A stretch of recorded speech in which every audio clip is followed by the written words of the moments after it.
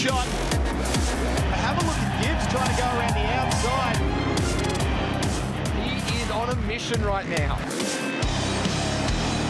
Oh, look at this. Beat. Escaped the carnage. A battle of survival here in this first moto, and he has come out on top.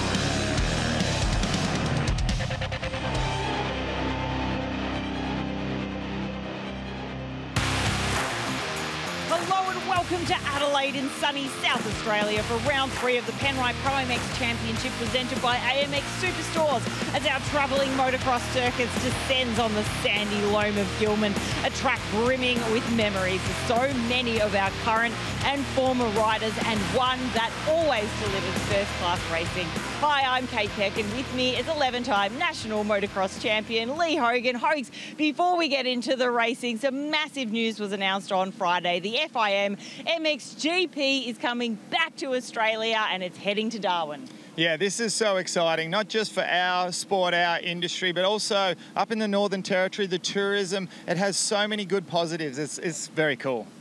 Now, in MX2, Brody Connolly is just extending his championship lead by a mile. Who can stop Brody Connolly? Well, it's the Brody Connolly show at the moment, isn't it? Uh, I think there's only really his teammate, Noah Ferguson, who has similar pace, but he just hasn't been able to string it together quite like Brody Connolly. So, as to whether he can do it here and keep doing it, that's another, uh, you know, circumstance we're going to have to wait to see. And finally, of course, in MX3, Jet Alsop taking the round win at Horsham without taking a moto win, something I know he would love to correct this weekend. Well, everyone likes to win an overall with a moto win, at least one, maybe two, but you'll take it however you can, right? It's been such a long time since we've seen Jet out there on the track. He was injured. Uh, so good to have him back, though. Our current championship points leader, though, Kobe Hantis, he's got that red background, didn't have the best round at round two at Horsham, so hopefully he can get those wheels back on again. We'll see how he goes here. Okay, we are going to head out for the Michelin track preview with your expert commentators, Danny Ham and Lee Hogan. Welcome to this week's Michelin track preview. We start here out of the start gate into the first turn. And what we've got here is one of the very rare opportunities for a dirt style starting grid throughout this series. We normally have the ultra grippy metal mesh starting grates. Now, if you have a bit of a close look at the dirt texture here, it will become that hard pack and you'll almost start to see blue groove marks from the tyres left on this starting gate here. And the riders have to get as much traction as they can before they launch out onto some super grippy dirt, and that's where the dramas begin. So we're only a handful of meters out the front of the starting gate, and we are presented with some of the nicest dirt that you are ever gonna find. Beautiful chocolate cake, and it's almost bottomless. Now this throws a bit of a curveball to the riders and the teams when it comes to tyre selection. Do they choose the very popular scoop or paddle tyre that just throws this dirt backwards and throws the bike forwards in a very big hurry? Or do they go for something a little bit more hard pack, something that's gonna get them off the starting line and not let those elbows come out and box you in and throw you out the back of the pack. That's a decision that they have to make. So we're gonna have to watch this play out. Tyre choice is gonna be critical. If you don't get yourself a good start on the opening laps here, you're going to be buried back in the pack. This particular dirt loses your vision very quickly. Position on track off the start, extremely important. Now this corner itself is a little bit of an off-camber turn. Now on a hard pack track, that would be very difficult to get around. However, with this soil, you'll develop a lot of ruts through the turn and they'll continue to push wider and wider.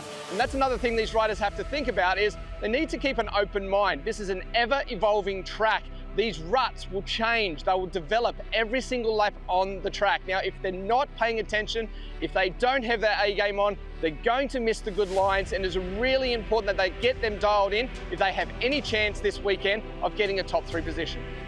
We're standing here on the exit of turn six. Now, approximately the halfway point of a lap. Now, entering into turn six, we've got what's traditionally known as a gator back section. It's the very last opportunity that these riders are going to have to make a pass before they head up into the elevated part of the Gillman circuit here.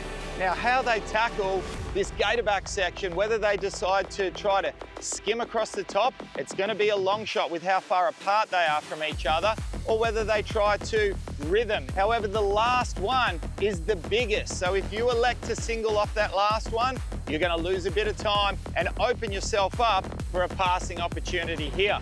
Once the riders come down from the elevated section, there's only a handful of corners before that checkered flag. Well, that's this week's Michelin Track Preview for round three at Gillman. Let's take a look at the Pirelli Championship points MX2.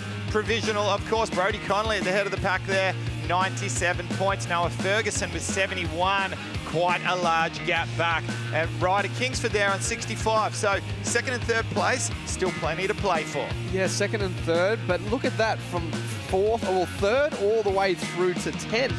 There's only, uh, what's that, 19 points between all of them. So it just shows how up and down a lot of the results have been for a lot of these riders. Let's take a look at the Pirelli MX2 lineup here for Moto 1. Brody Connolly, Caden Minear, some of the biggest names in MX2. Alex Larwood, Reed Taylor, Byron Dennis. Kingsford back there, Mather, Reese Budd, who looked pretty strong early on. Riley Fitzpatrick, that's a good one for him. Top 10 in the qualifying. Bailey Malkiewicz, someone that knows how to ride this track. Benny Novak, Jace Cosford, we spoke about earlier on the starting line. Haruki Yokoyama's had some great results lately on board. Yeah, he has been a fast. Brock Flynn, we saw a great start at the last round with him. So here's potential to get himself a holeshot. However, a 21 start gate pick, that'll put him in the mid gate. So he's certainly got his work cut out for him if he does want to get that holeshot. All right, we uh, only moments away here from the drop of the gate. Pirelli MX2 Moto 1. Who's going to grab that holeshot? Riders are starting to get amped. They're starting to get fired up. It's go time, and these points are critical towards the championship. Five second board up for Pirelli MX2 Moto number one. Revs are up. Let's go.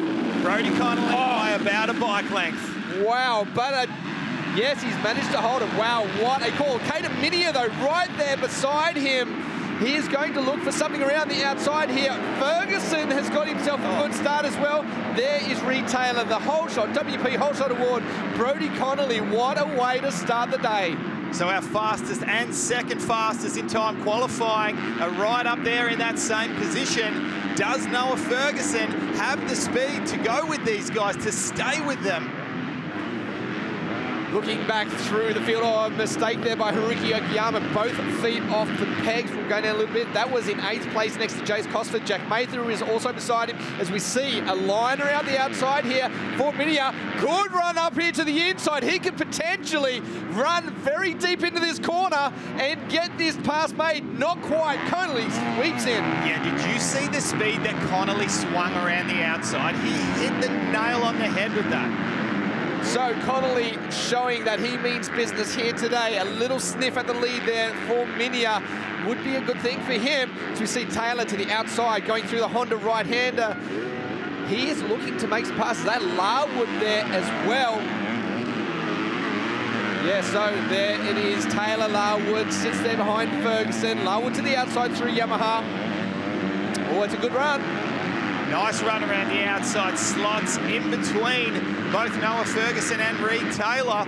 So our uh, very, very fast qualifier, Brody Connolly, is out at the head of the pack, but he is still under a little bit of siege from Caden Minear. Only 0.5 of a second between those two riders, but have a look at this battle. Yeah, and oh no, down. Oh! Is that Haruki? It is. Yeah, Haruki Yokoyama. Oh, that is a shame. He actually made a couple of passes to get into that position, so that is a shame for him. Around the outside, Taylor looking to make a pass on Ferguson. It's a long way around here, though, Lee. Yeah, now, you know Noah Ferguson as well as I do and how fast he is. His sprint speed is incredible. Do you pumped up a little bit in these early stages? Look, I think it's just these riders need to come to grips with a new track, basically. As we said before, they don't know the lines and they need to learn them on the opening couple of laps. And for a rider like Ferguson, who we oh, see oh, so strong, oh, that's Cannon. That is Charlie.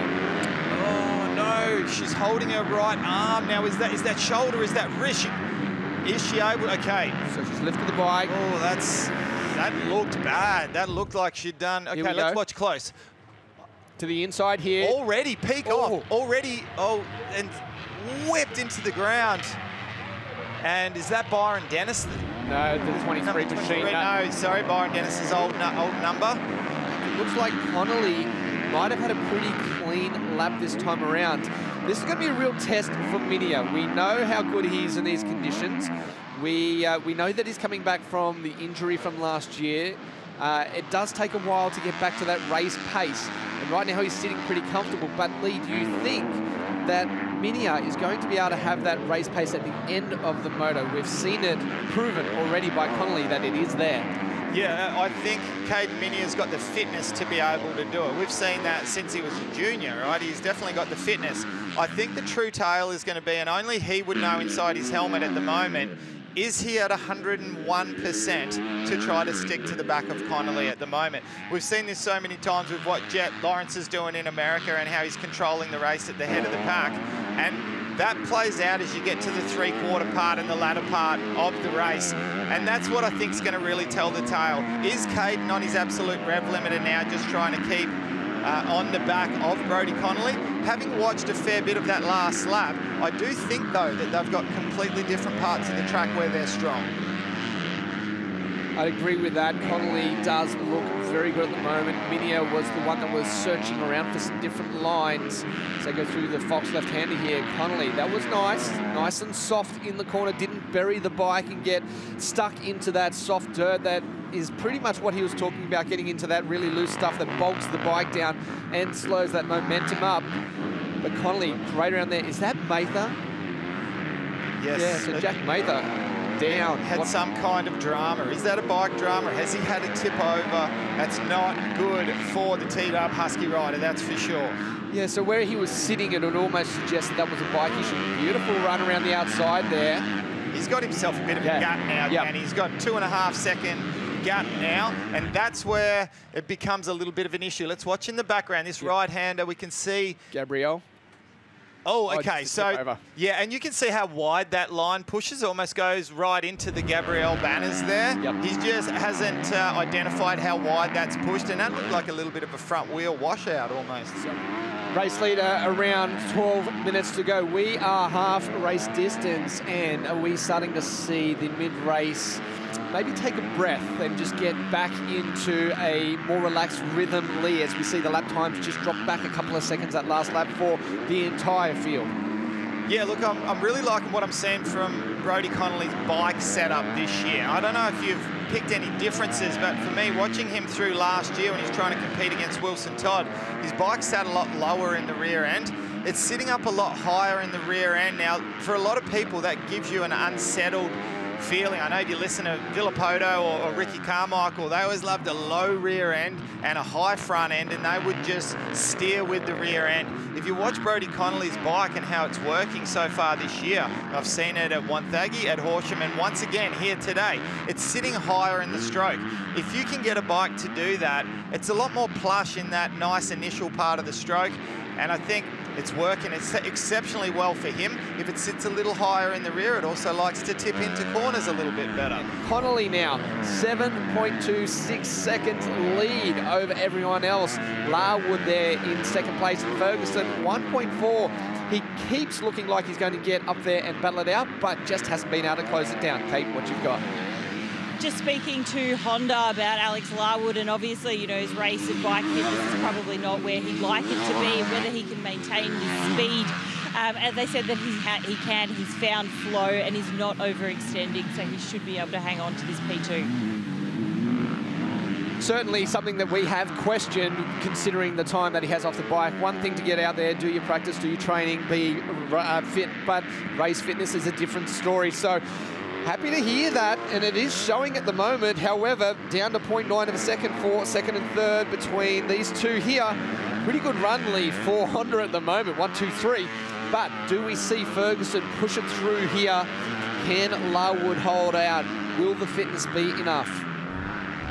Certainly Ferguson.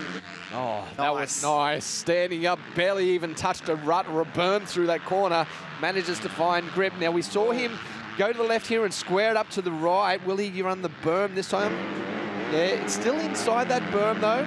and he closes right down again through this part. So this is a strong part of the track for Ferguson, and it seems up the back. Oh, Ferguson with a good drive out there.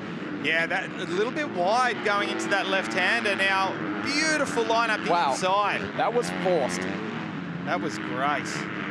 There was nothing there for Ferguson to turn off. There's that double over, not quite getting it right all the way. But Ferguson, man, he was that was, you know, I don't want to say that was almost guaranteed, but Larwood's been running. To go. Oh, Larwood though, oh, did he just come back to the inside? I think I almost guarantee you. And here we see the pass about to be set up here on the inside. Well executed pass by Noah Ferguson. Comes out, not too rude, but just uses up the real estate. Now I am almost certain that that pass was paid back in spades. So, oh, here we got it. Uh, uh, this is, uh, yeah, this is the right spot. So into this corner, Ferguson too wide, Larwood just to the inside there. So that was nice. So my my uh, my comment about it, that was almost guaranteed. Larwood is not rolling over. No. He is not rolling over. So when we come back to this, let's see. Hopefully, we've still got this battle going between these two. Once we pick them back up again. This is Minear. He has managed to hold onto that gap over Taylor. Ferguson back in front. Right, okay, so a little bit of a seesaw battle, but we didn't see that last pass, but what I can say is they have kept it very clean, haven't they? Yeah. It's been aggressive, but there is no reason at all that either of these riders, whoa, that was, he nearly got jacked over the handlebars. Yeah, it's not what you want when you see the last lap board after all that work. So, Ferguson we called it at the start of the race that he would be strong at the end, and he has once again proven that fact as we go to our race leader. Brody Connolly sits 7.8 seconds in front of the rest of the field. Absolutely flawless in this race. Had a little bit of pressure early on with Minear, but he has kept it clean, sitting inside the rut just there, staying out of any of that deep stuff that could slow him down. And he's been doing it so easy at the moment, Lee. Yeah, uh, see where he was aiming to go there? It slid out a little bit, but where he was trying to go, beautiful line. So creative, missing all those bumps to the left. So I think when you've got yourself an eight second lead over your teammates and you've got this kind of a points gap, your brain works in a different way. You're a little bit more calmer. You see things coming up quicker. You spot if a rider's crashed in front of you or a line changes. And that's what we're seeing with Brody Connolly at the moment. He's spotting stuff on the track that the other riders are not spotting. To the top end of the track, with a shot left-hander here before he drops back down into view for the majority of the crowd here. Beautiful day at Gillman. The sun is shining through the Honda right. The Honda rider himself, Brodie Connolly, has shown a clean set of heels today. Great start. Gets himself the holeshot and has not been challenged since. There was some riders that were close enough to put that challenge in, but no one has been able to answer the speed that we've seen and the smoothness that we've seen out of this rider. Even during those early laps, Danny Reed Taylor gone down just picked that bike up. Now, uh, has he lost a position? We're not quite sure. However, coming out of the final turn, up and over to receive the checkered flag and taking the win in Moto 1 of the Pirelli MX2. A dominant ride from our dominant racer in this championship at the moment, Brody Connolly, doing it for the Polyfloor HRC Honda team. Let's have a look at Pirelli results. MX2 Moto 1, Brody Connolly with the win from Noah Ferguson and Alex Larwood. Minear held on for fourth. Dennis Taylor Kingsford there in seventh. Cosford in eighth. Brock Flynn, good ride by him in ninth place. Campbell Williams there in 11th. Ryan King 12th, Ricky Yokoyama, Olander, Barham, O'Bree, and Jack Mather back in 17th. After that small tip over, so he was back a little bit further than he wanted to be. Unfortunate for him. Riley Fitzpatrick up there, 21. Jacob Sweet there in 24. Good to see, good to see Emma Milicevic up there as well in 31st place. Okay, let's head down to Kate Peck, who is with our winner. Yes, in P1 on the Polyfloor Honda, Brodie Connolly. Uh, holeshot, you just checked out. You look pretty flawless out there. Talk us through your moto. Uh, yeah, it was a decent moto. Uh, got off to another great start.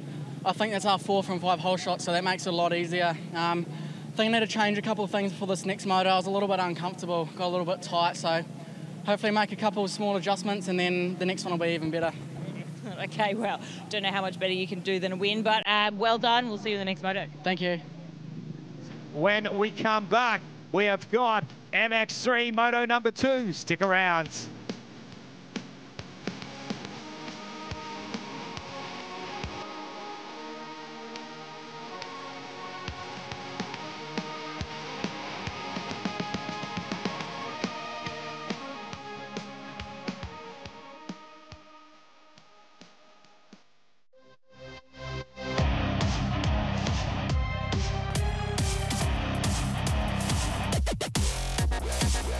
Maxxis Tyres MX3 class has been an absolute revelation here in Australia for Pro MX. And what it does is it combines our two oldest age brackets for juniors with our two youngest for seniors. It's created so many good battles out there on the track. Danny Ham, what's your thoughts? Yeah, look, I have to agree 100%. This particular class has shown us, one, the most exciting racing that we see all the time at our rounds, but the real point of it is to get some experience for these younger riders to develop their skills and be ready when they get into the senior ranks. And I can tell you what, there's some young guys that are really showing their hand against the senior riders. All right, well, let's have a little bit of a chat with some of our big hitters of the MX3 class. Kicking things off with our championship points leader, Kobe Hantis, riding for the WBR Yamaha team, carries the red plate in what is his first year as a senior. Just looking forward to doing the same thing I've been doing the last few rounds, just try to keep it a bit consistent and yeah, have a bit of fun. It does get stressful, but it's not too bad. The environment's pretty good. Track here is awesome. It's quite loamy and uh, looking forward to getting out there and yeah, getting amongst it. Only six points back and tied in second place. Cade Kingsford is ready to close down that gap. Uh, For myself, hasn't been the, the best first two rounds, but still stoked to be in second, and uh, hopefully we can progress from that and move forward in the rest of the championship.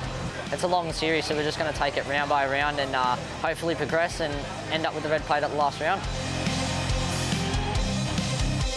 Currently tied with Cade Kingsford for points overall, Jet Alsop finds himself third place in the points on board the factory KTM machine. I had a pretty bad injury just before the Toowoomba round of Pro MX last year and it put me off the bike for a solid six months, which was pretty boring six months and um, I definitely don't want to do it again, that's for sure.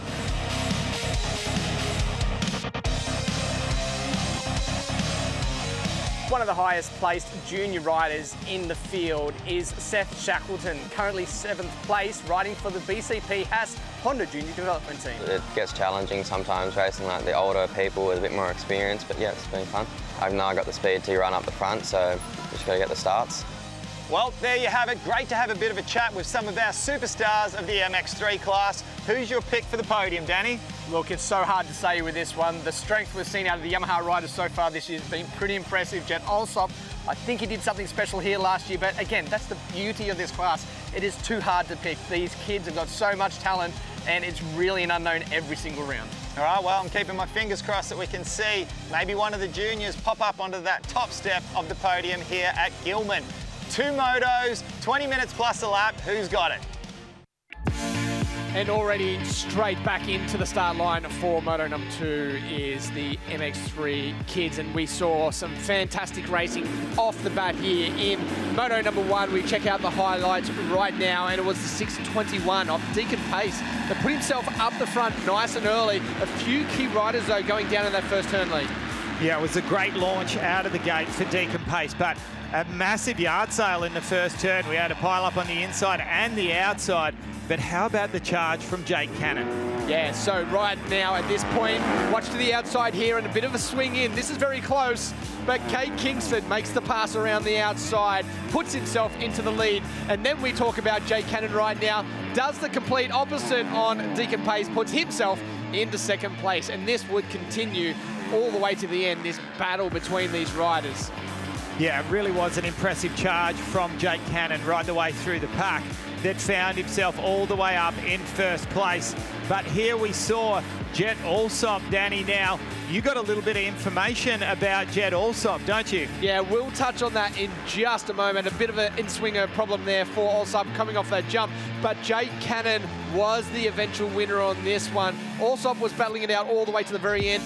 It sounds like he went down in the last turn, potentially could have a broken collarbone. It's not confirmed. I did talk to someone, but yes, certainly a bad way to finish this. As we look at the Maxxis tyres, MX3 lineup, so many fast riders in this one, Lee. Who's your pick to get the holeshot in this one? First of all, before I answer that, can I just say such a tragic story for Jet Alsop, who's had such a horror run of injuries. Jake Cannon, number three. There we go. That was my pick for the holeshot. Well, Kingsford got out pretty good up the inside, but it looks like 44, but running extremely wide. Couldn't pull it up.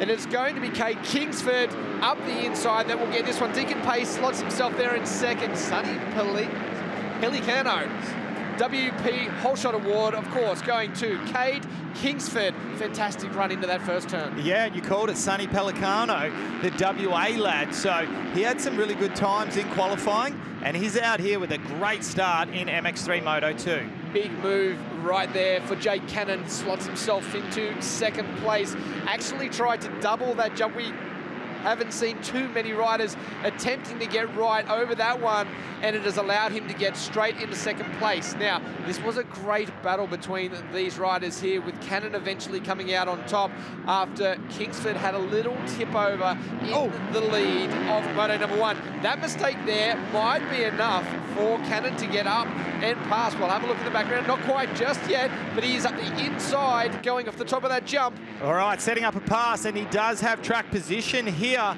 He could have been rude, but there we see Kade Kingsford knew the pass was made. We're only in the first lap here. It would be silly to jeopardise your track position at this stage, wouldn't it?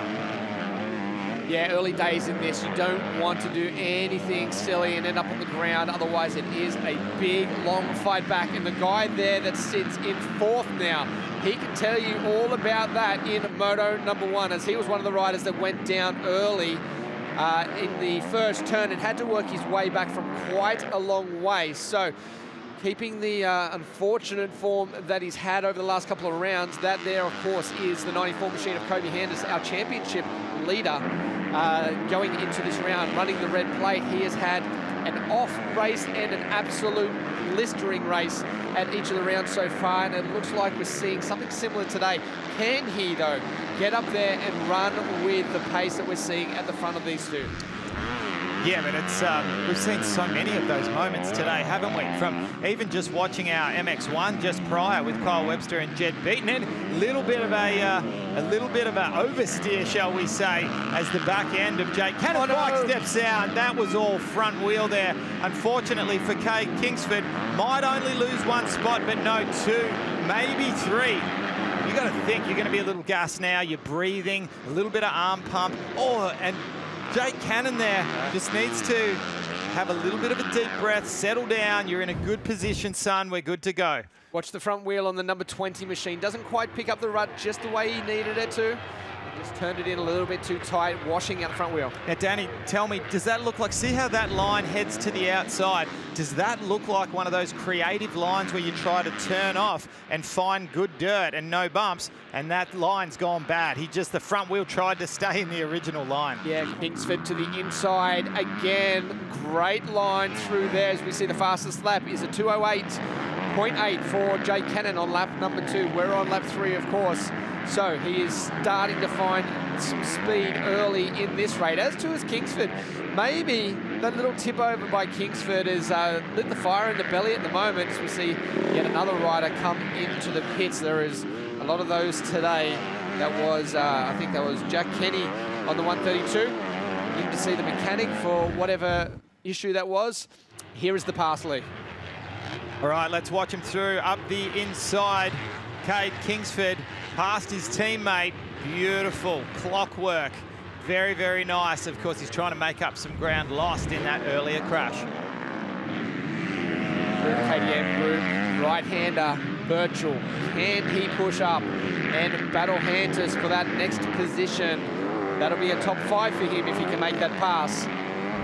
What type of training do you think these kids could be doing at home to keep that energy up a little bit higher? Is it is it more on the bike or is it more off the bike stuff? Well, I think it's a mix of everything, right? Anything that's going to get that heart racing, but it's got to be done over the time period that you're trying to do. For on the bike stuff, you need to be doing these long motos. As we see, just going to the outside there, this potentially, no, not quite close enough. Kingsford certainly had the upper hand over the those last couple of turns. And looking to the Oh. inside here, what a line. Oh, that was That was beautiful. turned on a dime and just ducked up the inside and a little bit like Jed Beaton or where Jed was trying to find. I think a 250, a bit easier to just pop that bike up and into a line that you're trying to find. But that was great. It's almost like he turned off the first part of the berm, popped up and over the rut and then just drove through that beautiful dirt. Uh, just getting, oh, here we go. Let's have a look at this. So from the outside here, he sets himself up. Oh no, this is the moment between Yeah. them. Yeah, Deacon Pace was all over the place coming into that corner. Very lucky not to uh, have that escalate into something worse. But I think at that point, Kingsford knew that he has the opportunity to make that pass because he could see that Pace was struggling just a little bit over those last couple of laps. It's not until the next corner that uh, we would see that pass finally being made. Seth Birchall has uh, taken a little bit of a digger here as we approach the last lap board. Unfortunately, sneaky little look over the shoulder there of Deacon Pace. Let's see if we can pick this up here. That's That's Hantis. that's Hantis. So, Here we go.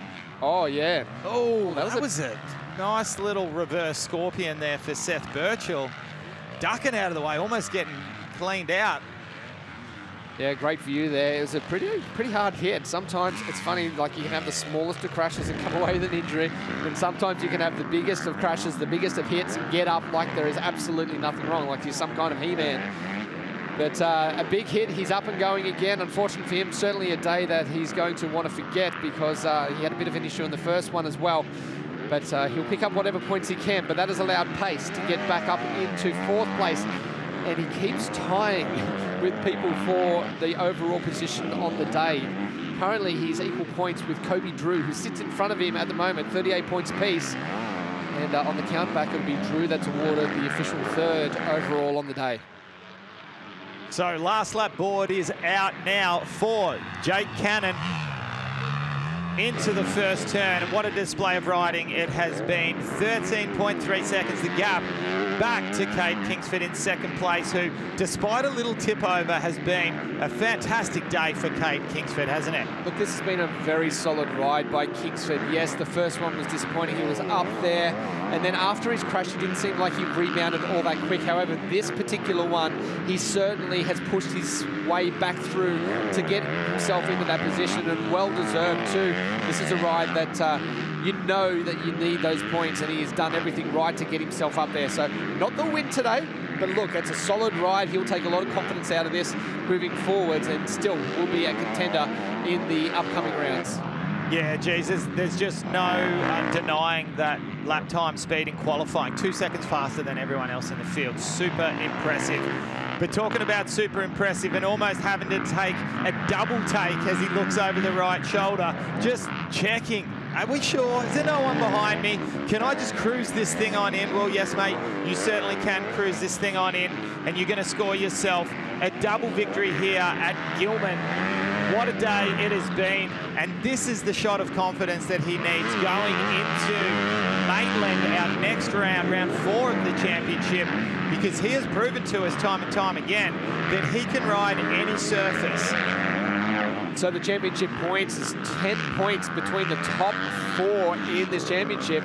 And this guy, if he continues this, is going to close down that gap pretty quick. He's still a long way behind, but when you ride a race like this, you have a weekend like this, that championship is well within your grasp.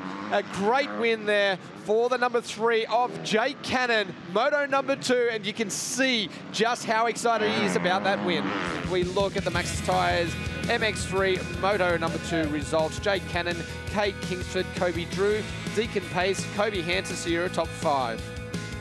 Jackson Fuller there in sixth, our first place junior through. Great job. Caden Strode there in seventh. Seth Birchall, Seth Shackleton, Jack Devison rounding out the top 10. A couple of uh, juniors up there, three juniors. That's a pretty good effort up in the top 10 of a very, very competitive MX3 class.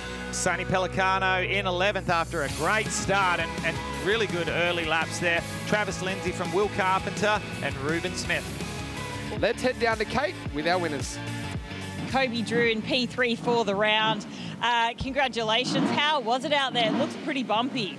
Yeah, very challenging. Um, it's been a, a little bit of a struggle all day, but um, felt really good that moto and just kind of brought it all home and lucky to get it on the box and feeling good and ready for the next round. Yeah, 100% important championship points.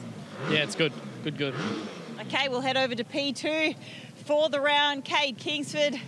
Uh, excellent return uh, after that little tip over. It was a shame to, to lose the lead, but um, you got back through the pack. Yeah, me and Jake were battling out front pretty quick and uh, felt like I had the pace to run with him, but uh, unfortunately tipped it down again. But got back to second and 2 uh, 2 on the day, so I can't really complain. Well done. Thank you. See you at the next round. See you in Maitland. And Jake Cannon, congratulations, return from injury, uh, a round win. You've just got to be so much hard work, I imagine, has gone in behind the scenes. It was such a serious injury that you went through. So, um, huge congratulations. You must be thrilled. Yeah, I'm so happy. Uh, it's been a long road, so I've went back and trained after Horsham on my fitness mainly because that's what I was lacking. But um, yeah, I'm just stoked how is your bike fitness feeling? How's your race fitness feeling? Obviously, you know, you were running a pretty quick pace today. Uh, yeah, heaps better. I mean, I knew I had to get a put a few sprint laps in at the start because these boys come at the end. So, um, yeah, I'm happy with how my bike and everything is, and team's awesome. So.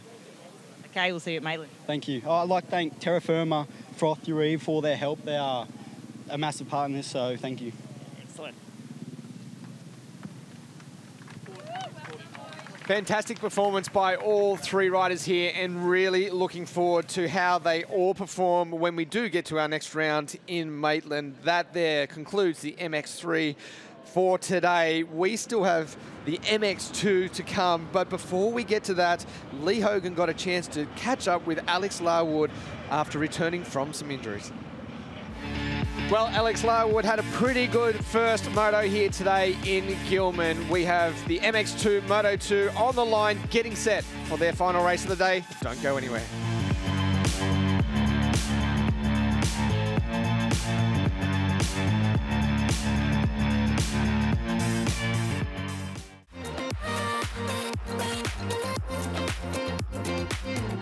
We're here with Alex Larwood, Froth Honda HRC rider and local South Australian lad. Alex, you've had such a long distinguished career with Yamaha, six, seven, eight years, and we've come across to Honda for 2024. Can you tell us a little bit about the bike? Was it all you dreamed it would be and more? Uh, yeah, it's been a really good transition, um, gelling really well with the bike and also I'm loving the team environment. Okay, cool. Now, you've had a bit of a horror run with injuries, unfortunately. Now, I was speaking to you in recent days trying to wrap my head around them. I know we've got a couple of back-to-back -back shoulders that had to be reconstructed. You had a tibia, there's all kinds of stuff. But there's one in particular that I couldn't wrap my head around the pronunciation and the way you said it uh, nerve damage where you couldn't even feel your arm as a result of one of those shoulder injuries, yeah? Yeah, so it's called a brachial plexus injury where oh, I stretched a nerve system in my left shoulder.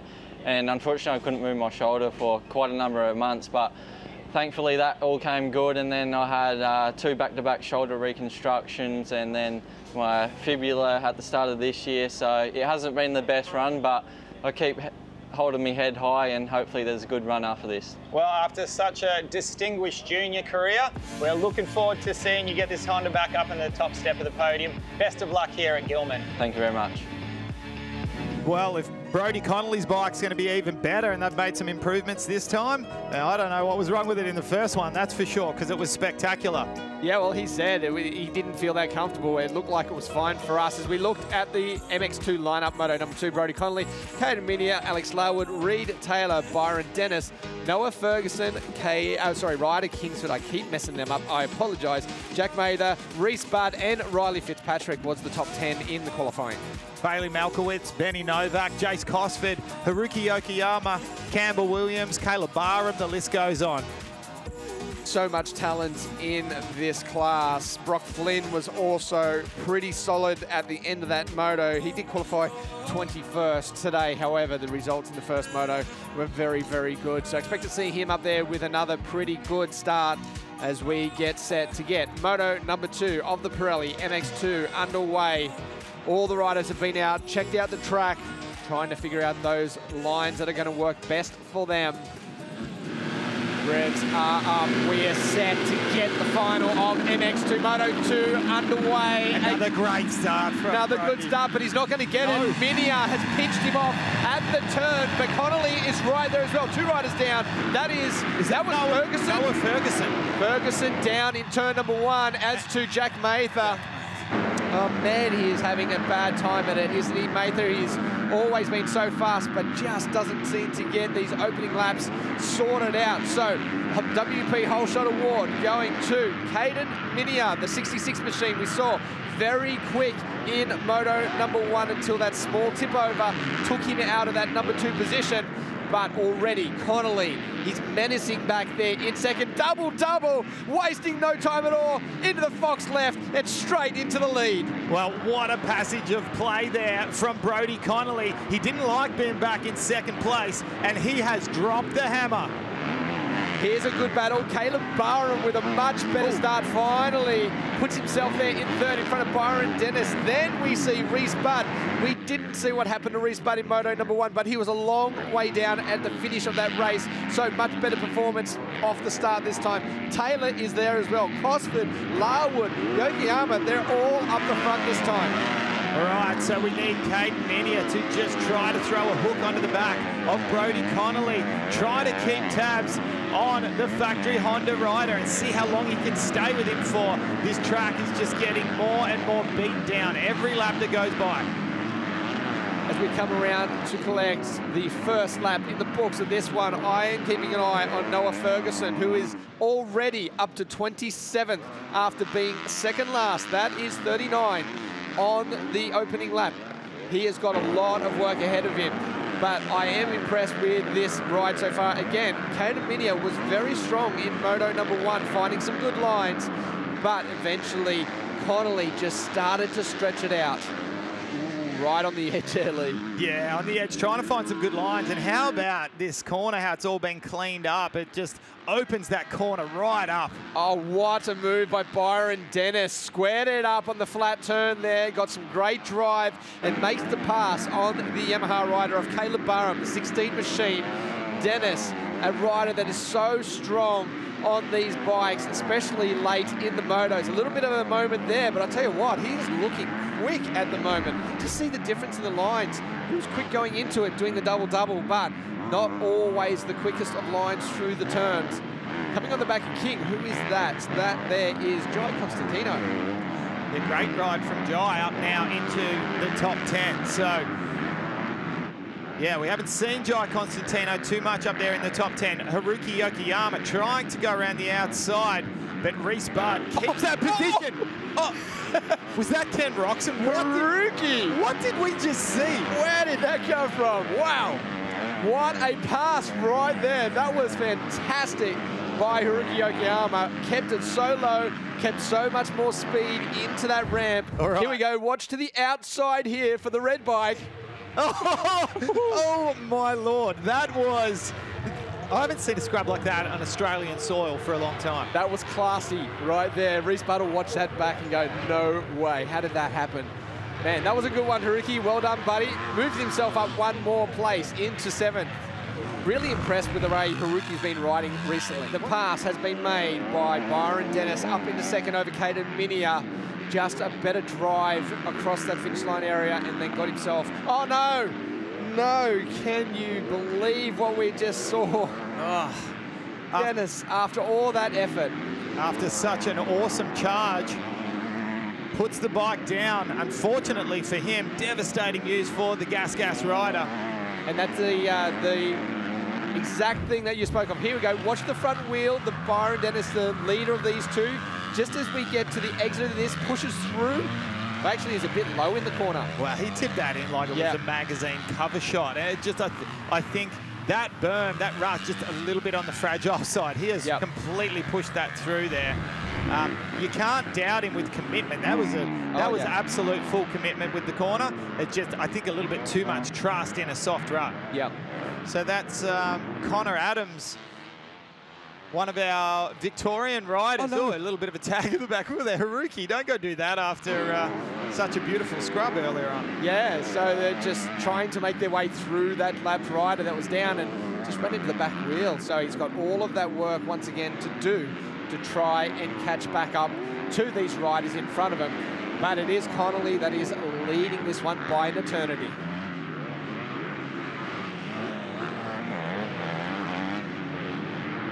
Just approaching the halfway mark here of the Pirelli MX2 Moto number two, and it continues to be Brody Connolly on board the factory Honda machine. He has got himself a handy 14 second gap as we have a look here at the excursion off the side of the track Yep. from number seven, Jace Cosford. Did the right thing, hand up, slowed down, perfect way to do it. Yeah, so now that I've seen that uh, replay, he actually had a moment in the corner itself. His left leg was completely off the bike. I think maybe he tucked the front a little bit in that rut and just set himself up to go around the track. So uh, perfectly done. Didn't gain anything. Let the other rider through. That is absolutely acceptable. But unfortunately for him, he did drop that one place. Nicely bounced over that last jump there by Ferguson. Gets him a nice clean run into that turn. Oh, how's the turn by Haruki Yokoyama up the inside from absolutely nowhere. Oh, yeah, Barham had to back out of that one because he was forced off the track and there's no way he could have made that pass. Oh, oh, come together. Ferguson, wasting no time, wants to get this pass made. He's got no time for this. He wants to get past. He was looking at a at a battle and an attempted pass on Haruki Yokoyama, and then next thing, Haruki just drops a bomb onto Caleb Barham. That was amazing. Ride of the day so far. Here we go. Watch to the outside, switches back to the inside, and then Haruki oh. absolutely muscling his way with all that 20 kilograms of body weight that he has and pushes his way through to that position. Fantastic. Just has to just tucked his right elbow in under, almost towards the ribs, so that he didn't tangle with Caleb Barham. Noah Ferguson slamming through those bumps, just no finesse, just as fast as he can charge through them. He's got a mission, that mission is number 16, Caleb Barham. Flies around the outside. This is such a good line, how low you stay there, and I believe he's almost going to round him up here. Swooping, oh, that is a massive, massive crash from Reese Budd and number 60, Brock Flynn, have gone down together. Both look to be unscathed and uninjured, which is great news. Well, that was a, uh quick pickup there. Here we go. Watch for the replay.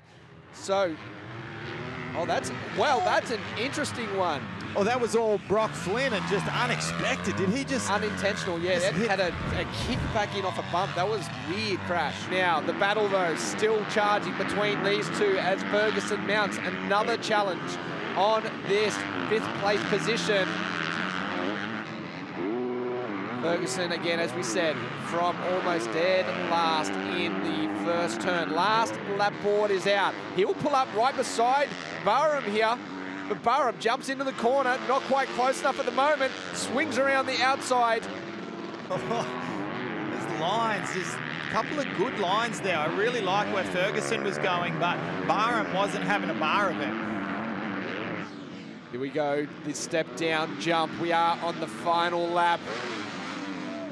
Ferguson looks to the outside, tries to square it back with a nice run. Oh, Barham is all over it, cuts down. Oh, how's the rev tune? That's anger. That is, Yep. That's pure anger right there from Noah Ferguson. But you know what?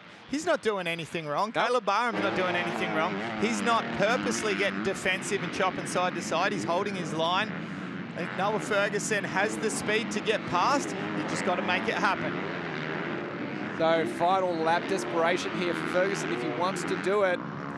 But this guy here, we haven't seen a lot of him for the entire race. What do you think his heart rate's at? Oh, 70, 72? Uh, oh, 30, all right, okay. Yeah, yeah.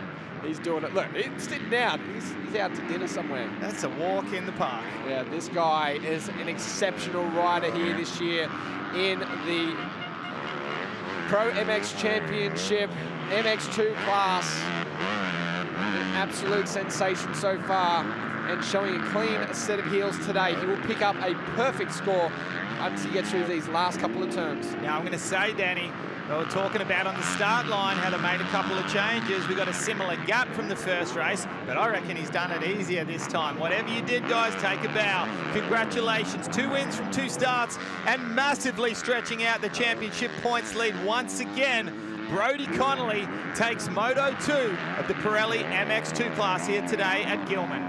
All right, let's take a look at the Pirelli MX2 results. Moto 2, Brody Connolly with a substantial win over Caden Minear. A good ride in second place. Ryder Kingsford in third. Haruki Yokoyama with quite possibly one of the races of the day. Noah Ferguson, another one of the races of, of the day. Caleb Barham, Jace Cosford, Jai Constantino, that's a fantastic performance, as too for Bailey Malkiewicz, Travis Olander as well, take a bow. Top 10 for all of them riders. Byron Dennis, Alex Larwood from near last place as well. Campbell Williams, the list goes on. Reed Taylor a little bit further back than what we expected. Reese Budd after that small crash. Brock Flynn was with him. Ryan King, who was up there early, I was going to bring it up that he was uh, off the side of the track at one point. So unfortunate for him, that great start. And we go down the Cape with our top three. In P3 for the round, Noah Ferguson. Wow, what an insane charge for from you from the back of the pack. Uh, talk us through your race. Yeah, I had a first turn mishap, um, went down and started from last, so I'm getting kind of sick of it. It's the old tricks, but yeah, I rode good. Uh, not sure what I come in that moto, but uh, fought hard, so that's the main thing. Congratulations. Um, still got on the podium, still important points, so we'll see you at Maitland. Yeah, definitely. So important points, but uh, man, that points lead is getting big. So, but the main thing is um, on the box. So, um, yeah, massive shout out to the team, Boost Mobile Honda, HRC, and everything else that goes with it. So, um, we'll be head down, bum up for the rest of the season. Great work. Okay. In P2 for the round, Caden Minear, congratulations, a holeshot. Bit of redemption from Moto 1, but your best result since coming back from injury, so you've got to be proud of that. Yeah, definitely. It's been a long time coming since the injury. Um, feel like this sport's been kicking me in the bum lately, but I get back up and I keep going. Um, I wouldn't be here without the team's help. Um, I'm so happy to be up here. It's been a long time. So, yeah, hopefully we can get some more podiums this season. 100%. It's great to see you up here. Yeah, thank you. And in P1, an absolute masterclass from Brodie Connolly. Uh, congratulations, um, a really solid effort this weekend. I guess those changes to your bike helped. Yeah, yeah, we changed a little bit before that one, and yeah, I was a lot more comfy in that one, as people could probably see. So yeah, can't get much better day than that. First in qualifying and then two moto wins. So yeah, that's what we work hard for during the week. So I'm stoked. Yeah, well, you've got a scary points lead in this championship. We'll see you in Maitland. Cheers. Well, there you have it, our podium, first, second and third. It's all about Brodie Connolly at the moment on board the Polyfloor Honda machine. Well, make sure you join us May the 6th as we head to the Hardpack and Ruddy Maitland circuit just under an hour's drive from Newcastle for round four of the Penrite Oils Pro MX Championship brought to you by AMX Superstores. And while you're at it, make sure you lock in round four of the My Bike Motorcycle Insurance Australian Superbike Championship presented by Motul as it heads next to Morgan Park Raceway in Queensland from July the 12th to the 14th. Well, Gillman never disappoints. And what a spectacle we've seen here in Adelaide for round three of the Penrite Oils Pro MX Championships, brought to you by AMX Superstores. Thanks so much for joining us. On behalf of Danny Ham, Kate Peck, and myself, Lee Hogan, thanks for your company. We'll see you next at Maitland, New South Wales for round four of the championship, May the 26th. Goodbye for now.